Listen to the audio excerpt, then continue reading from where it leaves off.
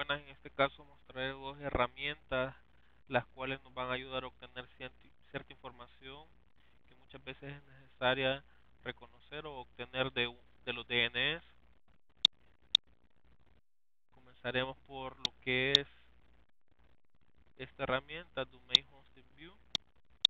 Pondremos lo que es www.utec.edu.sv. Ahí se va a obtener cierta información por ejemplo, este, hay dos servidores DNS. Aquí pueden ver un primario, un secundario, la parte del correo. Está la parte del SOAL, DNS que ocupamos en los laboratorios. Aquí están los punteros de esos DNS. El puntero de lo que es el correo. Acá se reconoce la dirección IP de un servidor de correo. Está en Washington este a la Microsoft Global Net el dueño es Microsoft su dirección IP son estas. Por ejemplo podemos obtener información como que el registro fue en esta fecha al parecer. Tiene una fecha de expiración eh, no la actualización es esta. Eh, está en Redmond ¿qué más? los números de contacto.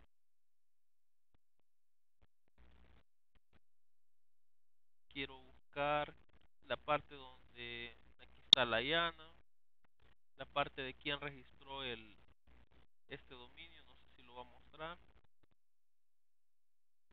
al parecer no, no este software no lo muestra hay otros que son pagados son más completos pero en el caso estos nos muestran que sea este tipo de información esta es una en el caso de eTools otro software bastante útil si yo quiero poner www.utec.edu SV yo veo de que Interfaz es el que provee lo que es el servicio. Si yo pongo ping creo que ah, está bloqueado. Veremos si nos deja hacer un ns lookup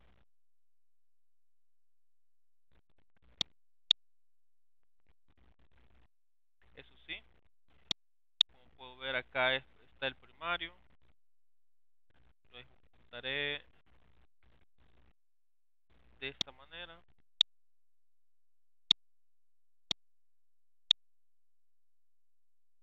Veremos qué nos contesta.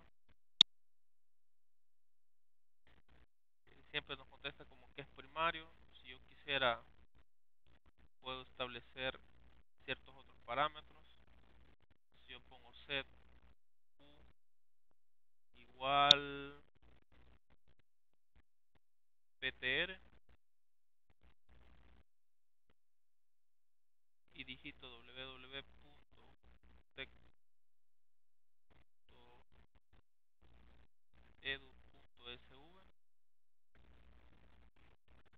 me da el nombre del servidor.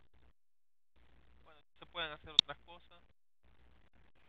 Eh, el pin ya vimos que falló el trace igual va a fallar en este caso acá en la red de la universidad. Veré que, que nos contesta al poner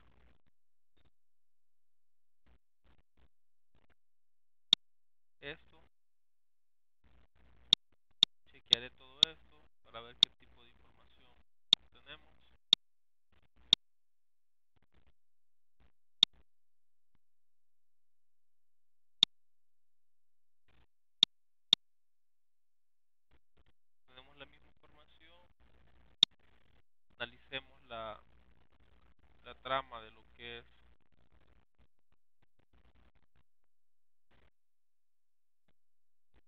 Tenemos este otro tipo de información el dominio el tiempo que se tardó en contestar el puerto por donde contesta su IP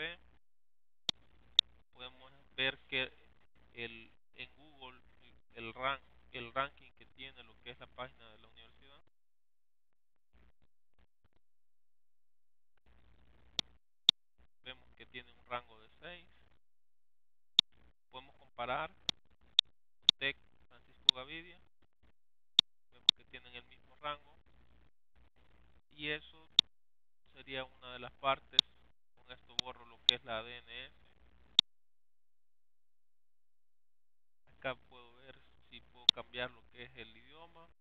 Lastimosamente no puedo enseñarles otras opciones, pero esto es básico espero que les sirva las herramientas se las pasaré en la clase.